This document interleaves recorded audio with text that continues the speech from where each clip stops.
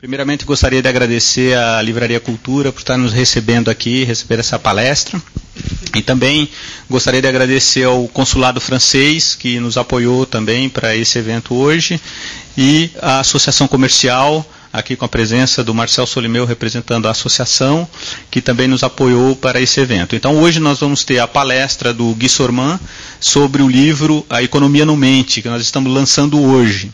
O Gui Sorman já é um autor bastante publicado no Brasil e na nossa editora é o segundo livro. Nós editamos o ano passado o Ano do Galo, que era um livro sobre a China, Verdade sobre a China, e esse ano estamos é, editando esse livro, que é um, A Economia no Mente, que é um livro que tem uma visão científica da economia. Né?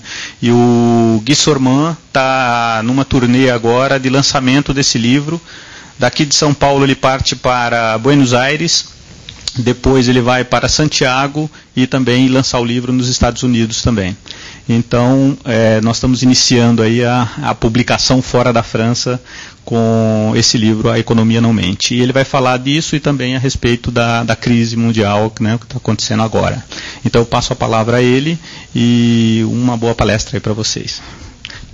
Très bien. Écoutez, euh, bon, évidemment heureux de. Eu estou feliz de estar aqui. Não é a primeira vez, tal como Edson eh, falou, citou, os meus livros estão traduzidos no Brasil e de, faz 25 anos já. E Marcel Solimão pretende que esses livros tiveram uma influência. Não sei não. Bom, hoje é um livro que resume um pouco uns 30, 40 anos dos meus trabalhos e das minhas reflexões.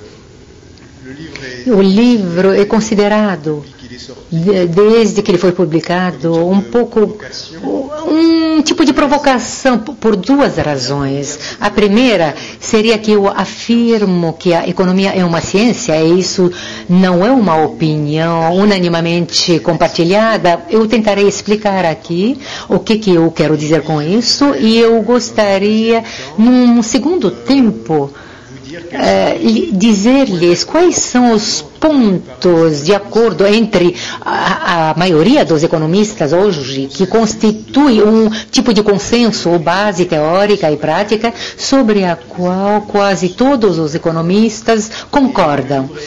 O livro é experimentado também como uma provocação na medida em que é um livro relativamente otimista e que parece surge num período que eu não qualificaria de crise, já que é um termo, acredito eu, muito carregado do ponto de vista ideológico, mas num período econômico difícil. É, sobre o primeiro tema, o que a, a gente pode dizer por exemplo, que a economia é uma ciência. O que, que eu quero dizer com isso? Quero dizer que o procedimento das, dos economistas é um procedimento de caráter científico. Ou seja, a maioria dos economistas reconhecidos como tais tem hoje uma abordagem, interpretação do mundo econômico, que é uma abordagem cujos métodos, o esforço, ao mesmo tempo teórico e prático, a constante, a relação que se coloca da experiência e da teoria, faz com que, do ponto de vista metodológico, a economia é uma ciência no estado emergente, uma ciência jovem, eu vivenciei do meu lado a passagem, eu diria, da ideologia para a, da a ciência. Até os anos 80, as opiniões no campo econômico eram tão importantes praticamente quanto os fatos. Se colocava no mesmo plano, fatos e opiniões. Até os anos 80 havia dois sistemas econômicos que a gente comparava nas universidades de uma maneira equivalente e que era o sistema socialista e o capitalista. Desde os anos 80, está, entramos num mundo bem diverso, onde a, o, o, lugar da opinião existe ainda, mas ela é marginal já em relação ao estudo dos fatos.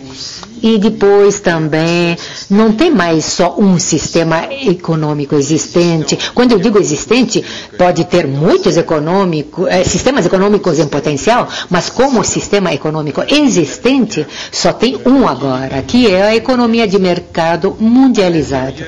Eh, dentro dessa economia de mercado mundializado, evidentemente, tem muitas escolas, eh, querelas, litígios, interpretações, mas tudo funciona a partir de agora dentro de um mesmo sistema, que a gente reconhece quase que unanimamente, cuja eficácia a gente, relativa a gente reconhece. Por que relativa? Porque a economia é uma ciência humana. E quando me dizem, nos dizem, bom, mas esse sistema capitalista mundializado eh, de livre câmbio é muito imperfeito, ele cria injustiças, crises, acidentes de percurso.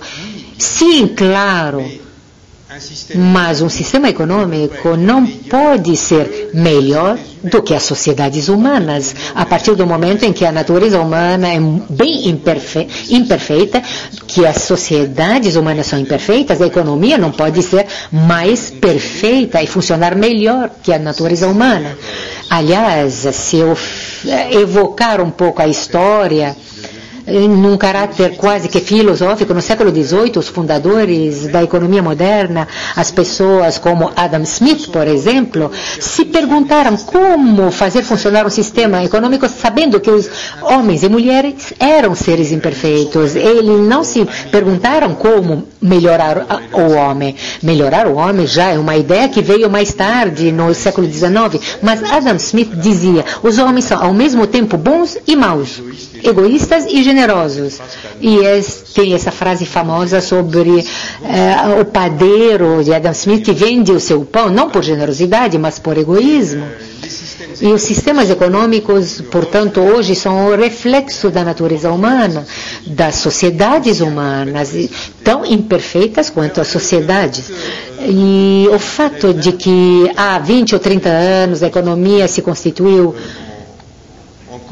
ainda mais, ou de uma ambição mais científica, isto teve consequências práticas, muito concretas, do qual vou falar daqui a pouco. O objetivo da economia, mais uma vez, não é teoria, mas é, a melhor, é melhorar a situação da humanidade, não fazer a felicidade dela. A economia não é uma ciência da felicidade, ela é uma ciência da, do quantitativo, ou seja, o papel da ciência econômica é aumentar a quantidade de riqueza colocada à disposição da humanidade. E em seguida, a humanidade vai fazer disso o que ela quiser. Os economistas não pretendem fazer a felicidade da humanidade, mas nós dizemos, bom, bom, já que existe uma aspiração mundial em todas as civilizações para melhorar a quantidade de bens disponíveis, já que existe um desejo geral, fundado ou não, isso é outro debate de desenvolvimento, de crescimento, eis os caminhos do crescimento. E os caminhos do crescimento e também que elas têm, porque a gente é, fica mais claro do, sobre aquilo que a gente tem que fazer, do, sobre aquilo que não tem que fazer. Ah, é, nós estamos mais lá para dizer, não, olha, não pega esse, esse caminho, está aqui a solução. Tem um economista em Princeton que é um especialista do desenvolvimento, para os países pobres e muitas vezes os governos pedem para ele que caminho seguir. Ele responde de uma forma um pouco irônica. É, ele, ele respondia: se eu era vocês, eu não partiria daqui. É, bom, claro, não é, é, não é bom tomar esse caminho, partir daqui, mas é muito importante. Nós sabemos, e aqui eu entro na segunda parte da, do meu discurso, reina hoje um, um acordo praticamente geral para saber o que não se deve fazer. Ou seja, aquilo que não se deve fazer. Ah, para tomar alguns exemplos brasileiros, por exemplo, o que não se deve fazer é desenvolver uma economia com, em base em monopólio público. Uma economia dessas teria uma duração de vida, um período de vida muito curto. O que não se deve fazer é fechar-se atrás das fronteiras. Fechar-se através das fronteiras seria frear a inovação. Sabemos que, já que era uma ideia popular no Brasil, sabemos que a criação de moeda em excesso e até a hiperinflação, que a um certo momento era considerada um modelo no Brasil, nos anos 70, é uma solução péssima.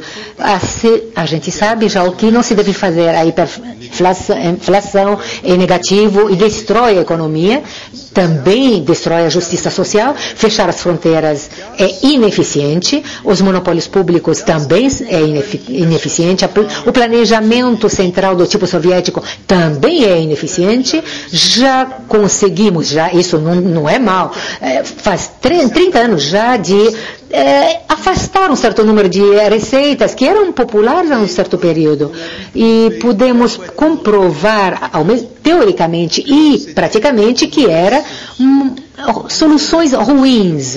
Estamos, somos um pouco que nem médicos do século XIX que não eram capazes de curar realmente as doenças, mas que eram capazes de dizer, olha, evite eh, beber água poluída, por exemplo. É, que se tenha uma higiene mínima. É, claro que estamos no estágio, digamos, da medicina preventiva, isso é muito importante. Somos capazes de dizer que um certo número de comportamentos são comportamentos eh, nefastos e contraprodutivos, e tudo isso hoje em dia parece evidente, mas se falássemos disso no Brasil nos anos 80, hum, e não, não na pré-história, teria tido entre vocês um certo número de partidários do protecionismo, das indústrias uh, monopolísticas uh, e a hiperinflação do sistema brasileiro, de indexação, de preços e salários com hiperinflação. Tudo isso foi eliminado num período de tempo bastante curto, eliminado, ao mesmo tempo por razões teóricas e práticas, porque infelizmente uma das características do século XX, os povos serviram muito de cobaia. Na economia, todos os sistemas possíveis foram tentados e muito sofrimento humano foi infligido, é, sofrimento muitas vezes muito grande, a família, a pobreza, infligido por sistemas econômicos que era perversos. Portanto, sabemos, como eu dizia, a grosso modo, o que não se deve fazer. O que se deve fazer, então? E eu coloquei uns 10 pontos, mas é demais, eu vou passar rapidamente, que constituem um tipo de consenso, de concordância quase que geral entre eles, os economistas concorrentes. Em primeiro lugar, concordância geral sobre o papel do empresário. O personagem do empresário que era isolado um pouco na sociedade no século XIX por um economista francês, Jean-Baptiste C. Jean-Baptiste C, ele reinventou esse termo que não existia, do empresário. E em seguida eh, passou para todas as línguas, o empresário é um indivíduo um pouco bizarro, não forçosamente simpático, não forçosamente educado, mas que tem a vontade de inovar, de criar. Tem uma concordância, portanto, em dizer que não é economia em desenvolvimento que não reconhece o papel desse personagem, do empresário. Se a gente reconhece, então, o papel desse personagem, convém que esse personagem tenha um status legal, fiscal, e um, uma certa legitimidade reconhecida pela sociedade.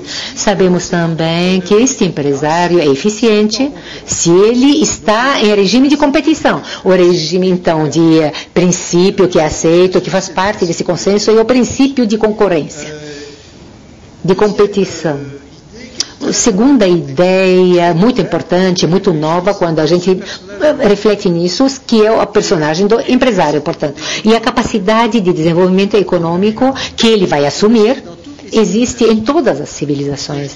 O que, que eu estou dizendo parece muito banal, mas eh, temos que saber que até os anos 70, mais ou menos, existia a, uma literatura gigantesca com pretensão cultural que ligava desenvolvimento e determinismo cultural. Nesta literatura se dizia, por exemplo, que bom, os povos da Ásia não, nunca poderiam se desenvolver porque eram é, seguidores de Confúcio que inter, é, proibiam o desenvolvimento, os budistas também porque eram budistas.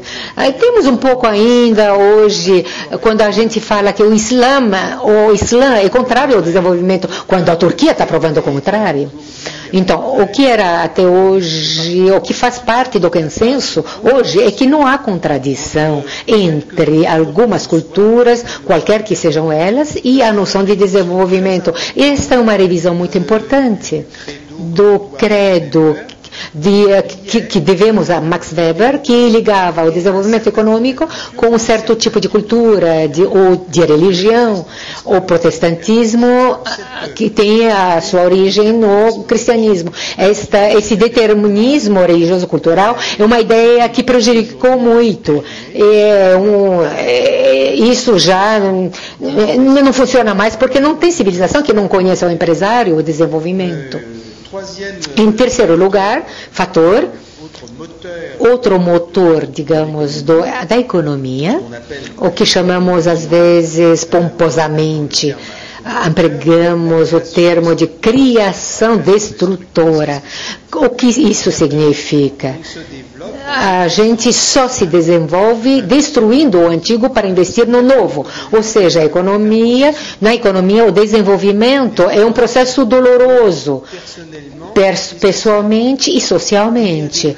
Só tem desenvolvimento que se a gente aceita o fato de que algumas atividades vão desaparecer e que outras vão substituí-las, ou seja, a inovação é o motor do desenvolvimento. É doloroso, porque do ponto de vista teórico é muito fácil dizer que a destruição, a criação destrutora é a criação do desenvolvimento. Infelizmente, vocês estiverem na França, se tem um, alguém que trabalha na, nas minas de carvão, nos Estados Unidos, um operário da indústria têxtil, ou, num outro país, um pequeno camponês, ou seja, em sua vida vocês perderão seu emprego e então perderão tudo. E esta ideia, que é uma ideia teórica e global, como muitas vezes é econômica e global, é difícil de ser aceita e entendida por indivíduos que são vítimas deste processo de criação destrutiva. Infelizmente, não se conhece o modelo econômico de desenvolvimento que é, pode dispensar esse processo de criação destrutiva. Esse, o motor dessa criação destrutiva é, é a inovação, e isso é evidente, é fácil dizer, mas é mais complicado fazê-lo. Eu não sei se eu tenho no meu bolso a inovação, se maneira de dizer, faz com que o desenvolvimento de uma nação depende da qualidade da sua educação do português, educação superior. Tem uma relação direta entre a qualidade do mundo universitário e a pesquisa e o desenvolvimento econômico. Aqui eu tenho um gráfico que eu não vou mostrar, mas eu o tenho sobre o número de patentes é, registradas todo ano no mundo, que são das nações uh, inovadoras. 38% das patentes em 2007 no mundo foram registradas pelos Estados Unidos. Se a gente se interroga sobre a liderança americana, a chave está aí. 38% das patentes no mundo são patentes americanas. Eu constato que não há declínio nos Estados Unidos na área da inovação, porque nos 10 últimos anos passaram de 34% para 38%, apesar então da emergência, novas potências, a China, etc. A liderança americana tende a confirmar-se e reforçar-se.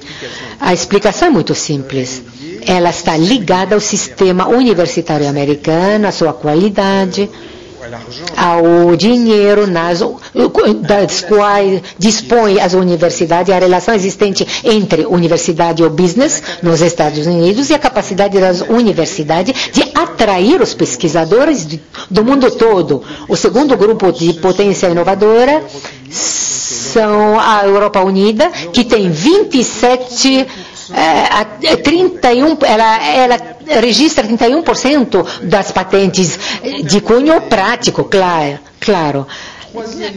E, e, em terceiro país, bastante extraordinário e muito interessante, é o Japão. 26% das patentes. É, digo interessante porque hoje a gente tende a dizer, bom, o Japão acabou, é a estagnação, é o, é o império dos, do, do sol que, que deita, né? É, então, Estados Unidos, Europa e terceiro, Japão. É, ele faz tão bem quanto os Estados Unidos. Se a gente olha, o meu organograma, ele tem três blocos.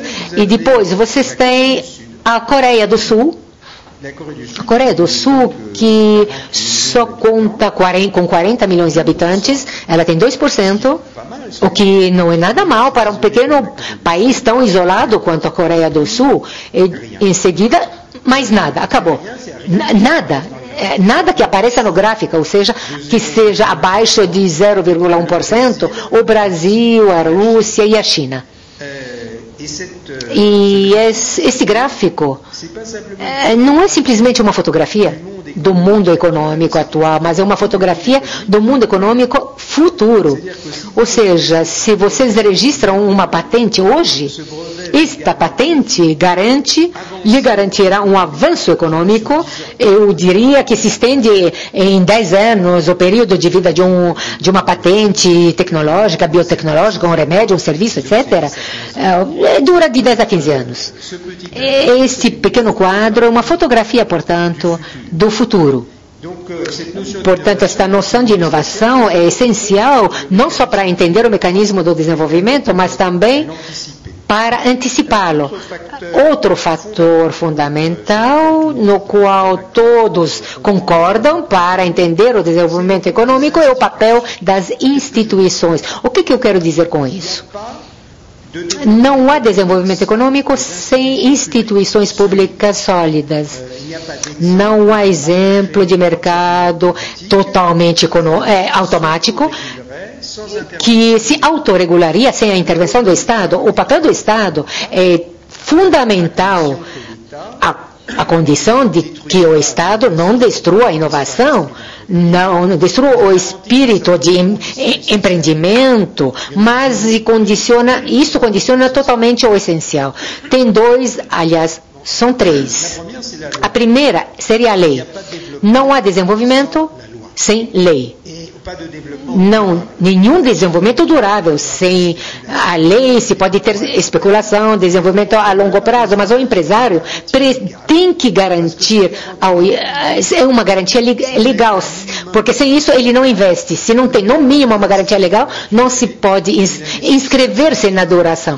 E ele se inscreve na dura dentro a longo prazo. O que permite também inscrever-se a longo prazo é a moeda. Se você não tiver moeda previsível, e o melhor modo para tê-la é ter, uma boa central independente, não se, a gente não se inscreve a longo prazo. E eu atraio a atenção, chamo a atenção sobre uma revolução institucional que tem 10 que já dura há 10 anos, é que todas as nações hoje no mundo com exceção de dois ou três países, têm bancos centrais independentes, ou relativamente independentes.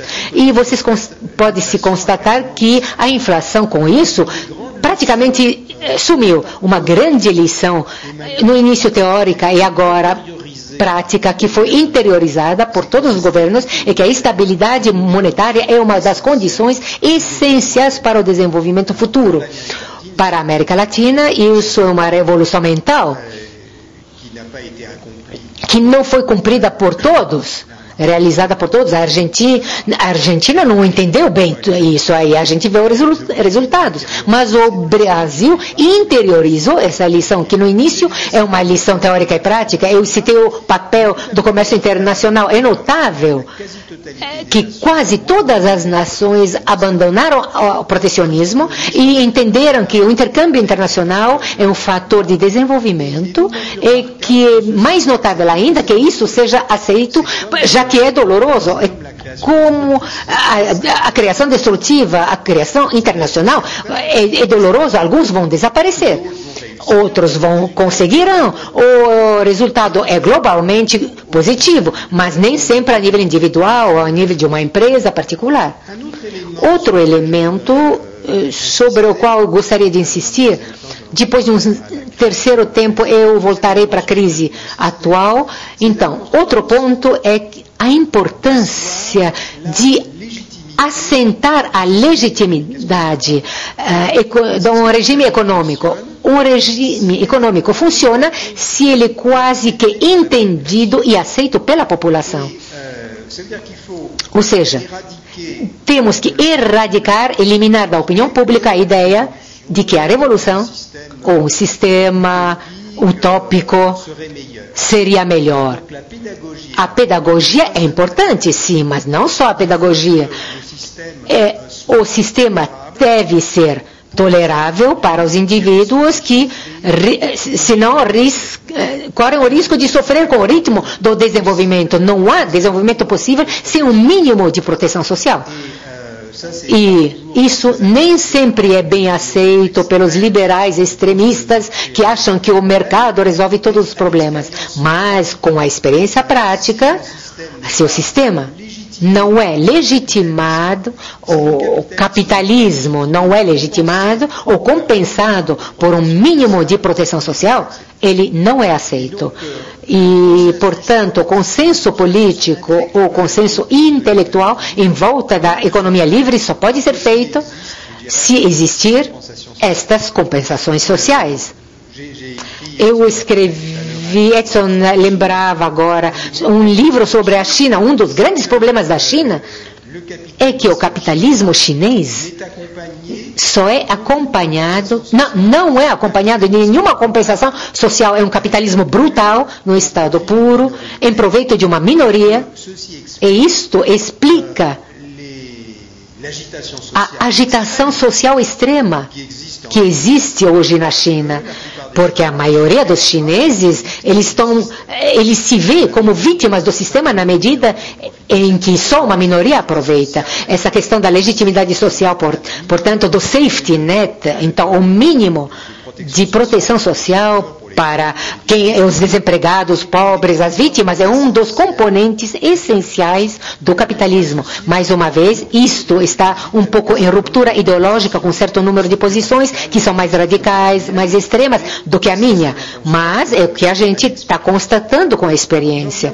Eu volto então para o terceiro elemento do, da minha exposição, que é a atualidade imediata, já que só é questão disso. Portanto, a economia, a gente diz que está em crise. Por quê? O que, que isso significa? Em primeiro lugar, a crise é mundial. Isto é muito interessante. Ou seja, estamos todos interdependentes. Totalmente interdependentes. Todos nós somos, uns e outros, é, é parte de um sistema econômico único. Nenhum país, não, não tem nenhum país, eu deixo de lado a Cuba, a Coreia do Norte, mas não tem mais nenhum país fora desse sistema. Toda a economia hoje é mundializada já por definição. Já, então, portanto, é ilusão acreditar que um país pode ter um destino econômico distinto, diverso daquele do país vizinho. Um pouco o caso, digamos, do Brasil, é um pouco verdadeiro no caso da Argentina. Hoje, para dizer as coisas de modo simples, o consumidor americano consome menos produtos de consumo. Eh, ou seja, as lojas americanas importam menos produtos da China. Consequentemente, usinas nesse momento estão fechando na China. A, a, taxa de crescimento está desacelerando. Isto terá um impacto sobre as escolhas alimentares da, do povo chinês, que vai voltar para consumos alimentares mais tradicionais, eu diria mais vegetarianos. Isso terá um impacto sobre as exportações do Brasil, da Argentina para a China. O fato, portanto, que o consumidor americano consome menos por um sistema de laço, de link, eh, se poderia multiplicar isso no infinito para mostrar a total interdependência dos sistemas. Igualmente, temos que entender. Paul Krugman teve recebeu o prêmio Nobel da economia sobre isto, é que hoje A gente não troca produtos com outros produtos. Por, não há produtos feitos num único país. Isso não existe. Eu não tenho, não tenho comigo, mas é, eu tenho meu iPod geralmente. Na demonstração, um, um iPod vale no mercado mundial 150 dólares. E no seu iPod, eu acho que vocês todos têm um, é, lá está escrito Made in China, feito na China. Ora, a parte chinesa do iPod é 4 dólares, porque é só a montagem que é feita na China. Portanto, o iPod foi imaginado, é, seis componentes design foi feito no, na Dinamarca, os componentes em, no, em Taiwan, a caixa é feita na Coreia. Eu passo por cima dos detalhes. E, e, e uma usina chinesa monta tudo isso, exporta para o Brasil e coloca Made in China. Mas, na realidade, esse iPod, ele é feito em pelo menos 40 países. No caso da França, eu pergunto muitas vezes para os franceses, que são muito é, é, presos à sua indústria nacional, As, os carros Renault, onde são feitos? Um carro Renault tem componentes que vêm de quase 45 países. Estamos, portanto, num sistema que não é mais o sistema descrito no século XIX, em que se dizia que os ingleses vendem o têxtil, o linho, os outros. Não, a Índia vende isso para a Inglaterra. Nós estamos num sistema de distribuição de funções que explica essa total interdependência. A taxa, o crescimento é sempre mundial e também a redução também é mundial algumas palavras sobre essa crise, então.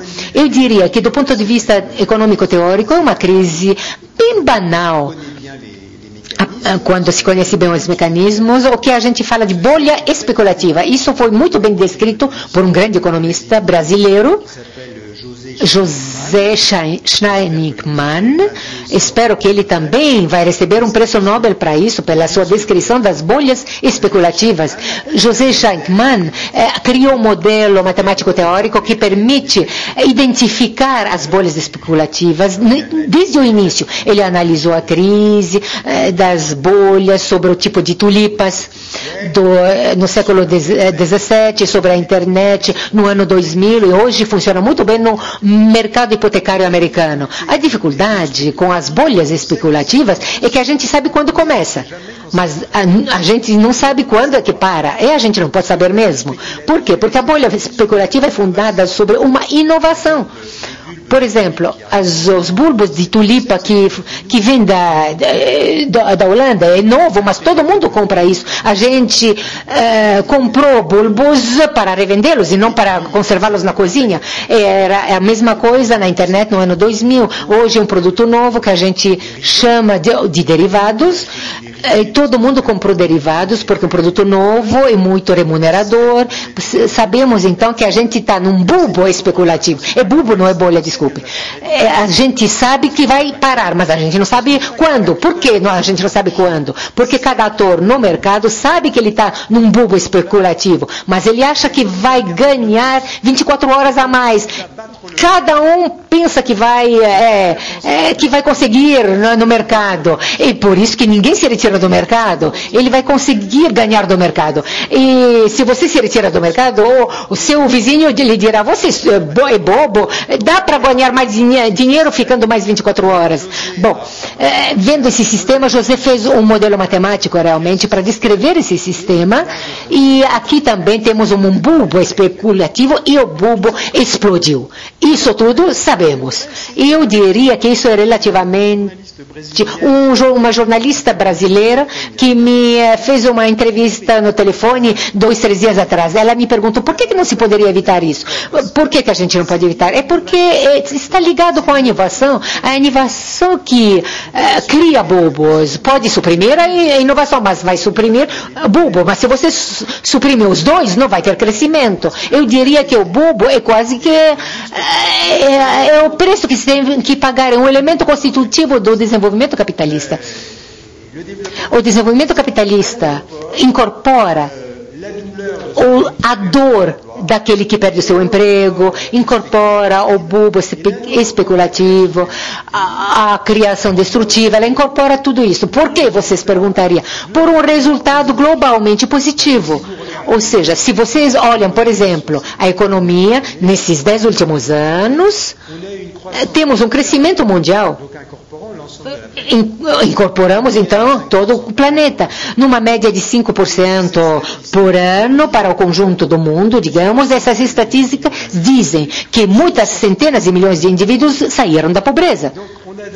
De um lado, então, temos uh, sofrimentos individuais, acidentes de percurso, e por outro lado, temos um resultado global, historicamente, sem precedente, já que é, é sem precedente, já que mais, uh, várias centenas de milhões de indivíduos em 10 anos saíram da pobreza. E a questão final que se coloca agora, o que, que a gente vai fazer? Quando uma bolha, aqui ele está falando de bolha, é, explode. Eu, bom, é, eu não gosto da palavra crise porque ela remete à crise do capitalismo. Tem todo um discurso ideológico que é bastante estranho para a ciência econômica, mas é um fato, é bastante complicado porque nas democracias a opinião pública quer que os governos atuem. E os governos gostam de atuar, claro.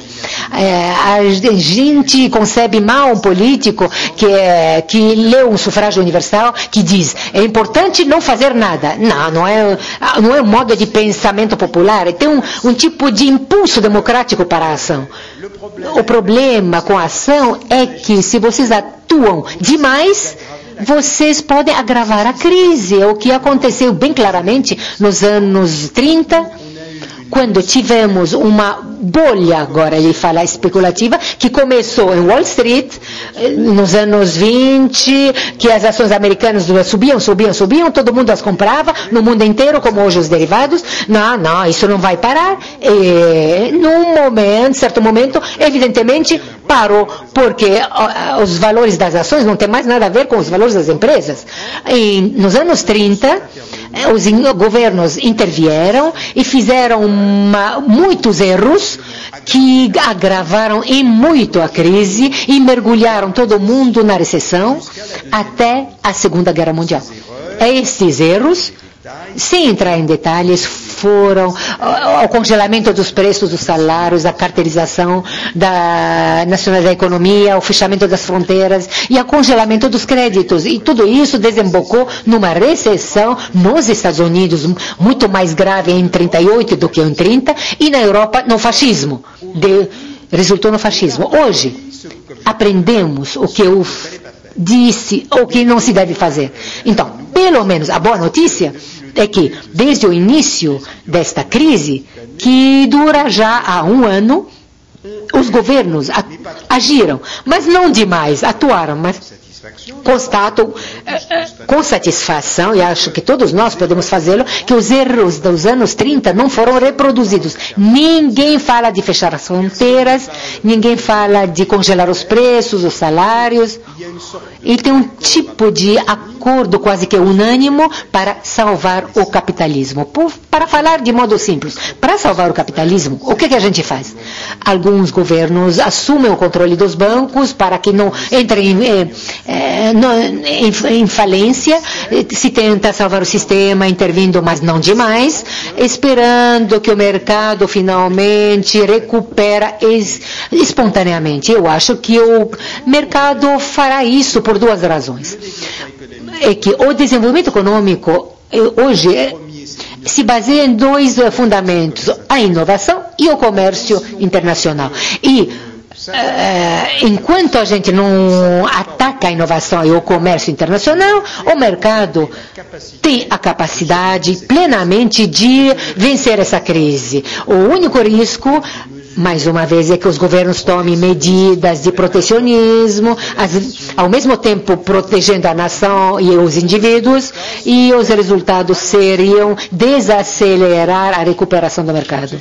É um tipo de equilíbrio difícil a encontrar em regimes democráticos onde as decisões são sob controle da opinião pública, um certo equilíbrio entre a proteção o salvamento do capitalismo ou não proteger demais para que o processo de criação destrutiva possa retomar. A gente poderia falar teoricamente, se a gente vê o sistema bancário americano e outro, a gente, sim, teoricamente a gente poderia não fazer nada. Poderíamos deixar os bancos entrar em falência, eh, também as co companhias de seguro também.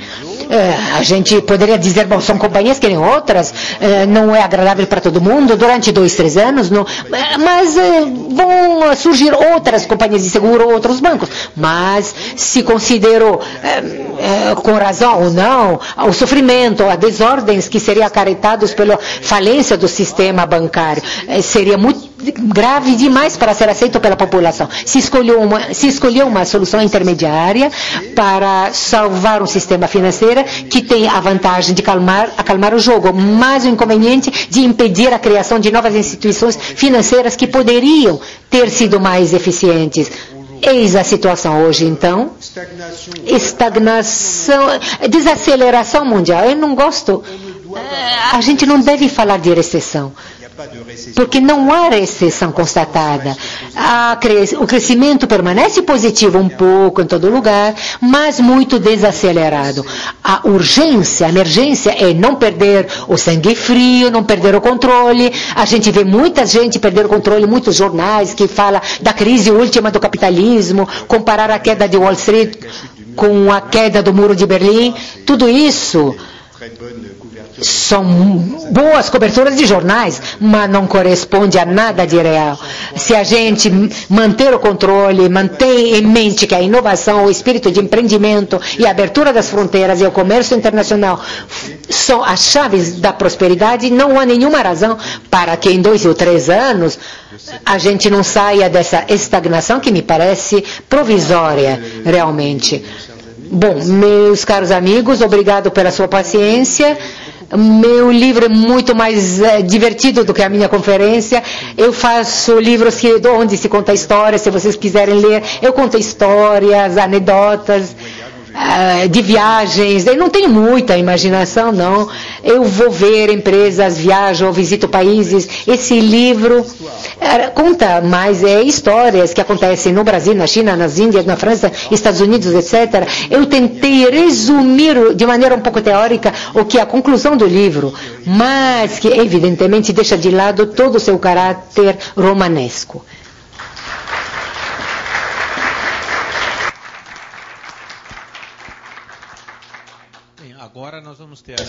Nous aurons maintenant la séance d'autographe. Nous allons préparer, je pense que ce sera ici en bas, non? Ce sera ici même. Il y aura un cocktail. Vous êtes tous invités pour continuer notre soirée.